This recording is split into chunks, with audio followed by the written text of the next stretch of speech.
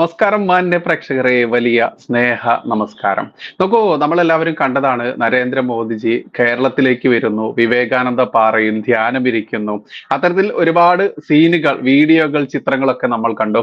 അതിനെ ട്രോളിക്കൊണ്ടും പരിഹസിച്ചുകൊണ്ടും ഭാരതത്തിന്റെ പ്രധാനമന്ത്രിയാണ് എന്ന ഒരു പദവി പോലും നൽകാതെ അതല്ലെങ്കിൽ ഇന്നിപ്പോൾ ലോകത്തിന് ഒന്നടങ്കം സമാധാനം വിതയ്ക്കുന്ന രീതിയിൽ തന്നെ ലോക നേതാവായി മാറിയ നമ്മുടെ പ്രിയപ്പെട്ട പ്രധാനമന്ത്രിയാണ് എന്നുള്ളത് പോലും ജാതിയുടെയും മതത്തിന്റെയും രാഷ്ട്രീയത്തിന്റെയും വ്യത്യാസത്തിൽ ഇസ്ലാമിക ജിഹാദികൾ പ്രചരിപ്പിച്ചുകൊണ്ട് എത്രത്തോളമാണ് അദ്ദേഹത്തെ അപഹസിക്കുന്നത് എന്നൊക്കെ കൃത്യമായിട്ട് നമ്മൾ കാണുന്നുണ്ട്.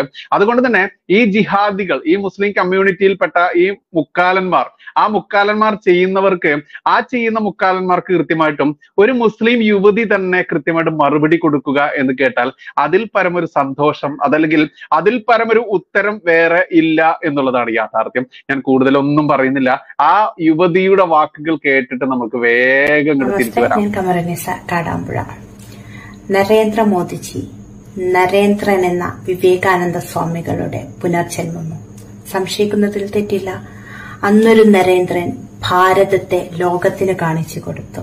ഇന്നിതാ മറ്റൊരു നരേന്ദ്രൻ ഭാരതത്തിന്റെ യശസ് ലോകത്തിനു മുന്നിൽ ലോകത്തിനു മുന്നിലെത്തിക്കാൻ ഒന്നാമതെത്തിക്കാൻ നിതാന്തം പരിശ്രമിച്ചു കൊണ്ടേയിരിക്കുന്നു.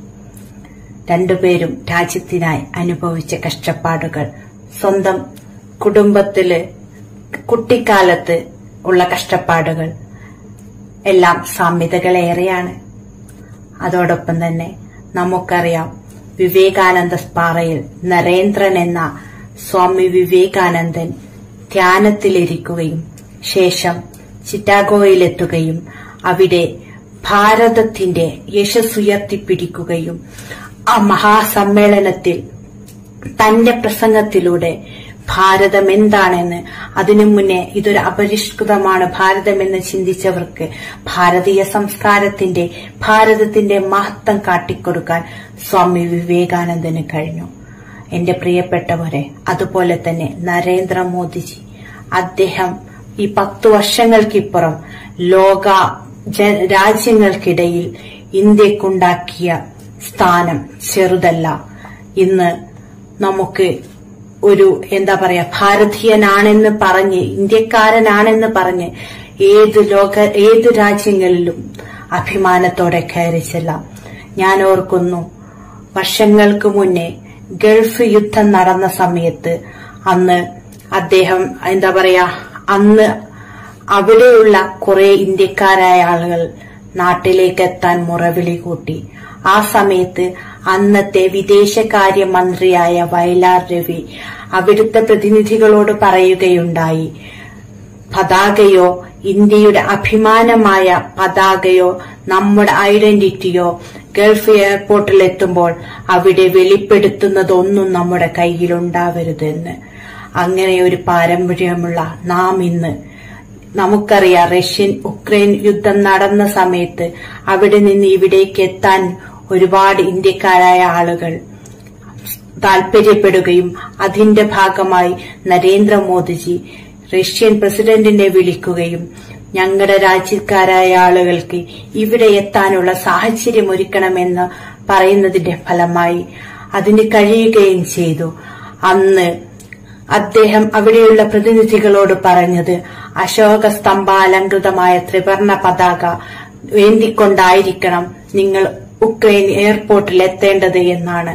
അന്ന് അഭിമാനമായ ഭാരതീയനായ ജന്മനാടിന്റെ ആ അശോക സ്തംഭാലങ്കൃതമായ ത്രിവർണ പതാക ഏന്തിക്കൊണ്ട് കൈകിലുയർത്തിക്കൊണ്ട് നാം അവിടേക്ക് പോയവര് ആ തണലിൽ ഒത്തിരി രാജ്യങ്ങൾ കൂടി രാജ്യക്കാർ കൂടി രക്ഷപ്പെട്ടു എന്നതിൽ ഏറെ അഭിമാനം തോന്നുന്നു.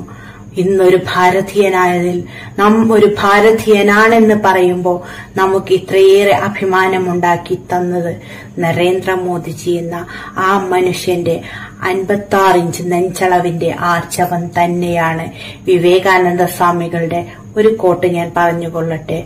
ഉദ്ദിഷ്ടത ജാഗ്രത പ്രാപ്തുവരാൻ നിബോധത. ഉണരൂ എഴുന്നേൽക്കൂ ലക്ഷ്യം നേടുന്നതുവരെ പ്രയത്നിക്കൂ. ഇന്ന് അഹോരാത്രം നരേന്ദ്രമോദിജി എന്ന ആ മനുഷ്യൻ ഭാരതത്തിന് വേണ്ടി തന്റെ ആരോഗ്യവും തന്റെ അറിവും എല്ലാം സമർപ്പിക്കുന്നു എന്നതിൽ വളരെ ചാരിതാർത്ഥ്യമുണ്ട്.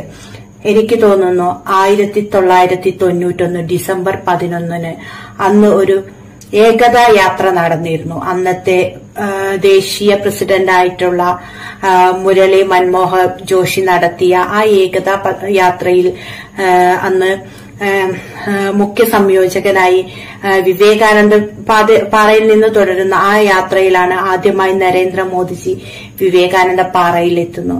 ഇന്നിപ്പോ അദ്ദേഹം എന്താ പറയാ അദ്ദേഹത്തിന്റെ മൂന്നാം അശ്വമേധത്തിന്റെ തേര് തെളിച്ചുകൊണ്ട് ഭാരതത്തെ വിശ്വത്തിന്റെ നെറുകയിലെത്തിക്കാനുള്ള പ്രയാണത്തിൽ ഇന്ന് അദ്ദേഹം നമ്മുടെ സ്വാമി വിവേകാനന്ദൻ എന്ന നരേന്ദ്രൻ ധ്യാനത്തിലിരുന്ന അതേ ശ്രീ പാദപ്പാറയിലെത്തുകയും അതേ അതായത് വിവേകാനന്ദ സ്വാമികളുടെ അനുഗ്രഹം വാങ്ങാൻ ധ്യാനത്തിലിരിക്കുകയും ചെയ്യുന്നു. ഭാരതീയ സംസ്കാരത്തെ ഇത്രയേറെ നെഞ്ചിലേറ്റുന്ന മറ്റൊരു പ്രധാനമന്ത്രി നമുക്കുണ്ടായിട്ടില്ല എന്ന് തന്നെ പറയാം. വാക്കുകൾ ഇതൊന്നും പോരാ ഒരുപാട് പറയാനുണ്ട്. ഈ ഒരു വീഡിയോ കൊണ്ട് അതിന് കഴിയില്ല എന്ന യാഥാർത്ഥ്യം മനസ്സിലാക്കിക്കൊണ്ട് നിർത്തുന്നു. നന്ദി നമസ്കാരം നോക്കൂ ഇതിലധികം എന്തിനാണ് ഒരു എക്സ്പ്ലനേഷൻ എന്നുള്ളതാണ് യാഥാർത്ഥ്യം. എന്നിരുന്നാലും നമ്മുടെ പ്രിയപ്പെട്ട ഖമറുന്നീസ കാടാമ്പുഴ പറഞ്ഞിട്ടുള്ള ആ വാക്കുകളിലെ വലിയ വ്യാപ്തി നമ്മൾ ചിന്തിക്കേണ്ടതുണ്ട് പരിശോധിക്കേണ്ടതുണ്ട്. രണ്ട് ഇറ എറ എന്നൊക്കെ നമ്മൾ പറയും രണ്ട് കാലഘട്ടം.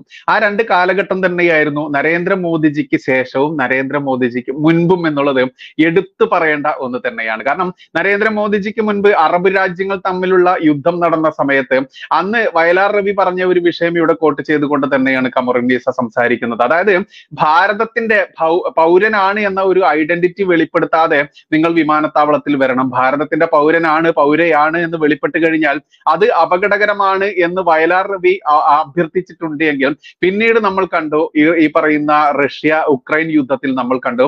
ഭാരതത്തിന്റെ പതാക ഏന്തിക്കൊണ്ടായിരിക്കണം നിങ്ങൾ ഈ രക്ഷാപ്രവർത്തനത്തെ അതിൽ രക്ഷപ്പെട്ടുകൊണ്ട് പോരേണ്ടത്.